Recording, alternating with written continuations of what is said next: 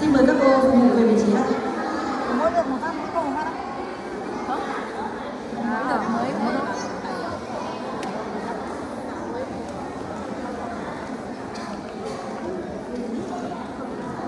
một cái em em một cái rồi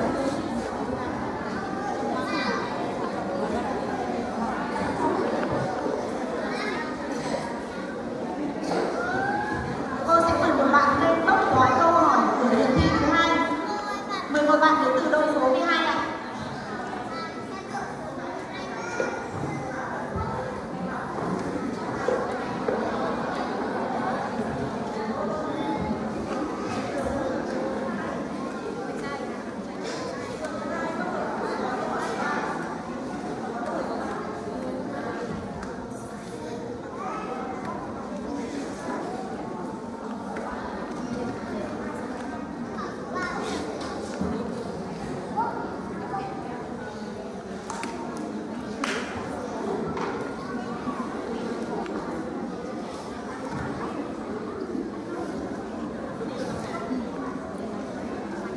Câu hỏi số 1 có nội dung như sau. Khi đi qua ngã tư có tín hiệu đèn đỏ, chúng ta phải làm gì? Đáp án số 1, phóng nhanh vượt đèn đỏ. Đáp án số 2, dừng lại trước vạch dừng lại trước vạch sơn. Đáp án số 3, dễ khi không được phép. 10 giây suy nghĩ, bắt đầu. là sao đấy không nói chuyện mà đấy bay lên Mời các bạn dơ cao đáp án của mình ạ. Và đáp án của câu hỏi này chính là đáp án số 2. Xin chúc mừng tất cả 6 đôi ạ. Mời các bạn để thẻ xuống xuống. Câu hỏi số 2. Em được người lớn đèo bằng xe máy đi trên đường. Em phải ngồi như thế nào cho an toàn? Đáp án số 1, đội mũ bảo hiểm và ngồi trước người lớn. Đáp án số 2, đội mũ bảo hiểm và ngồi sau người lớn. Đáp án số 3, đội mũ bảo hiểm ngồi sau người lớn và bám chắc vào người lớn. 10 giây suy nghĩ bắt đầu.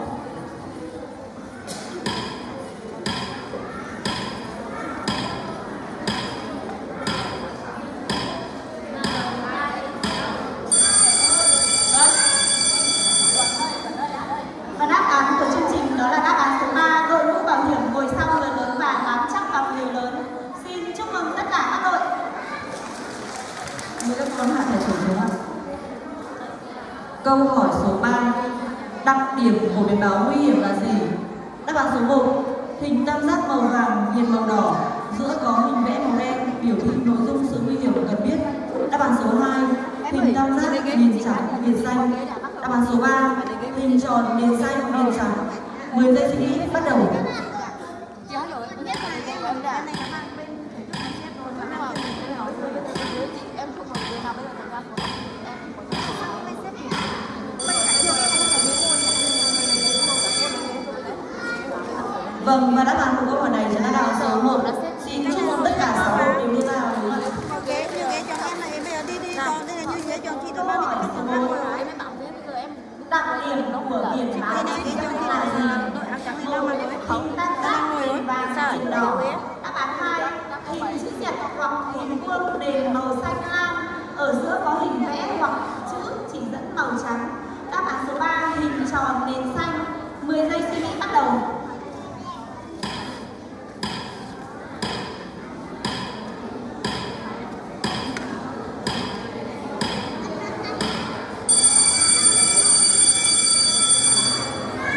Đề nghị các bạn giữ nguyên bảng và dơ cao đáp án. Và đáp án của chương trình đó là đáp án số 2. Xin chúc mừng các đội số 07, số 09, số 10, 11, 12 đưa ra đáp án đúng. Số 08 là đưa ra đáp án số 3 là đáp án sai ạ. Mời các bạn hạ bảng xuống ạ. Đề nghị các bạn hạ bảng xuống ạ. Đội số 09 ạ. Cô đề nghị bạn ở trong đội số 09 hạ bảng xuống ạ.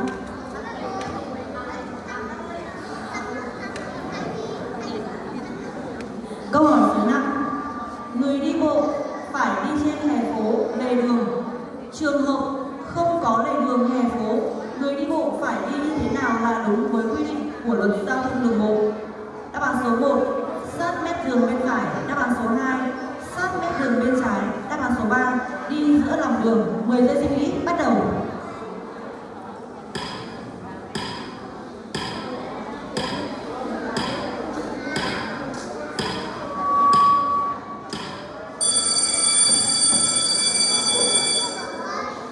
Và đáp án của câu hỏi này chính là đáp án số 1. Xin chúc mừng cả 6 đội đã có đáp án đúng ạ.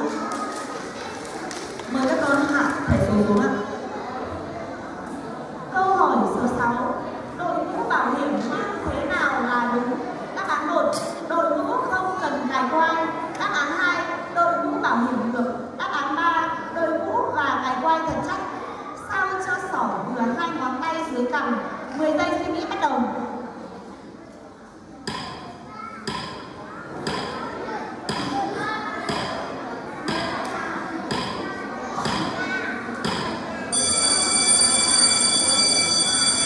Và đáp án của chương trình đó là đáp án số 3. Xin chúc mừng cả 6 đội đã trả lời câu hỏi đúng. Các bạn ơi, câu hỏi này có hình ảnh đề nghị các bạn nhìn lên trên màn chiếu ạ. Đề nghị các bạn nhìn lên trên màn chiếu và nghe cô hỏi, nghe cô hội đọc câu hỏi ạ. Câu hỏi số 7. Hãy quan sát hình ảnh và cho biết đây là biển báo gì? Đáp án số 1. Biển báo hiệu lệnh trẻ em thường xuyên qua lại. Đáp án số 2. Biển báo cấm người đi bộ. Đáp án số 3. Biển báo đi theo hướng thẳng. 10 giây suy bắt đầu. Vâng, tập trung ạ.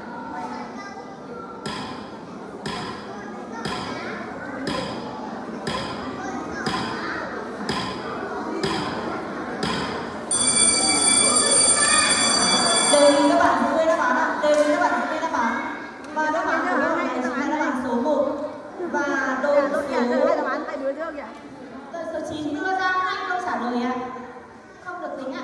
vâng xin chúc mừng năm đội còn lại ạ đội số 09 đã đưa ra đáp hai đáp án và không được tính ạ Cô chính kìa hai đứa giờ. Câu hỏi số 8. Những hành vi nào dưới đây gây nguy hiểm? 1. Chơi trong công viên 2. Chơi trong sân trường 3. Chơi giữa lòng đường 10 giây suy nghĩ bắt đầu Đội này. Thảo.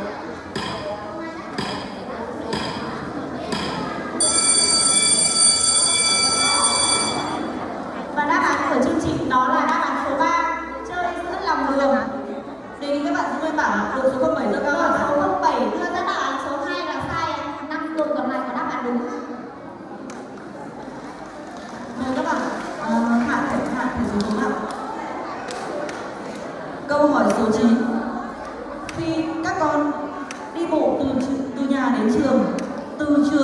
nhà các con cần đi như thế nào cho đúng? Đáp án số 1 đi thật nhanh để về nhà, không cần sự giúp đỡ của người lớn. Đáp án số 2 đi chậm, đi sát lề đường bên phải và chú ý quan sát. Khi sang đường phải nhờ người lớn dắt qua đường. Đáp án số 3 đi tung tăng, bình tĩnh giữa lòng đường cho rộng rãi. 10 giây suy nghĩ bắt đầu.